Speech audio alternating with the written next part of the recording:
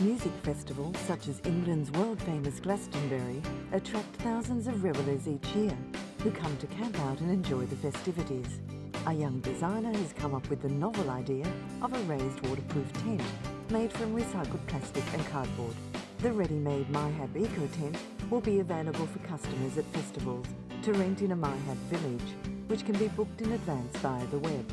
The designer believes the eco tents will enhance festival experiences because they are a free service and people don't have to worry about setting up a tent. They can just focus on enjoying the music while staying in clean, dry, comfortable surrounds.